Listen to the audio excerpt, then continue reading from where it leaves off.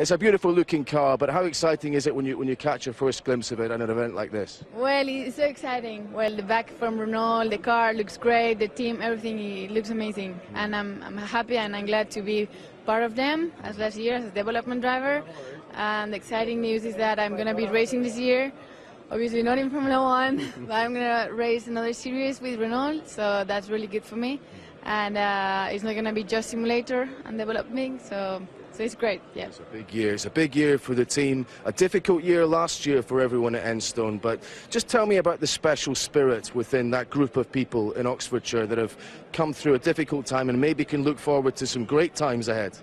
Well, definitely. You know, we are like a family in Enstone. We are. Um, uh, a group of people that we bury together, so that that makes us that when we have bad moments, we stay we stay together, and we have when we have good moments as well, we are even more more closer. So I think that makes uh, a good combination, as uh, Carlos Ghosn was saying. Uh, it's very important the spirit of a team. So I think we have it, and Renault is putting the rest. So I think we're gonna we, we can achieve good things. We have they have a good project for the next uh, three four years, so it's looking great.